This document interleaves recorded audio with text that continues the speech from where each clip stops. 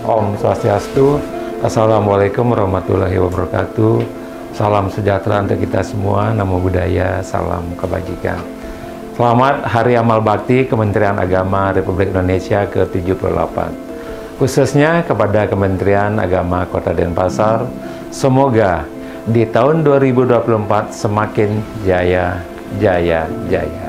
Indonesia hebat bersama umat. Om Santi Santi Santi Om. Wassalamualaikum warahmatullahi wabarakatuh.